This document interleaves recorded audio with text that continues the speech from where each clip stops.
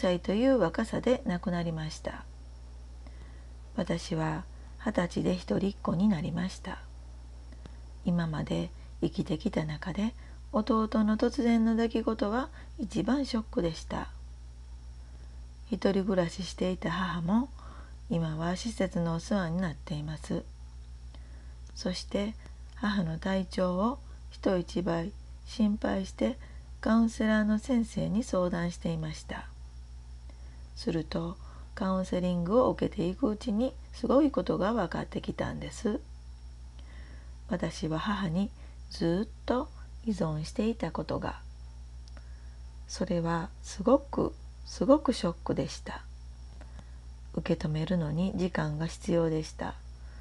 でもカウンセリングを何度も何度も繰り返し受けていくうちに受け止めることができたんです。今回はここまでにしますね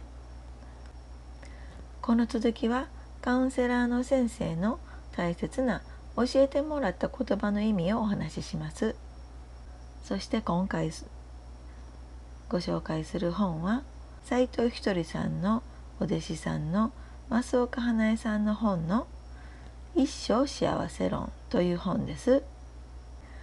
あなたがこの世に生まれた以上あなたは絶対に幸せにならないといけないのです。不幸は間違い苦労は間違いなのです。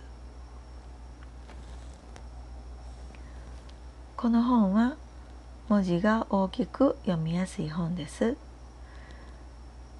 本の苦手なあなたもぜひ読んでみてはいかがでしょうかまた今回ご紹介した私の人類ブログのリンクを下の説明欄に貼っていますのでよかったらそちらの方も覗いてみてくださいね。青いところを押してくださいね。それでは次回もお楽しみに。福山一恵でした。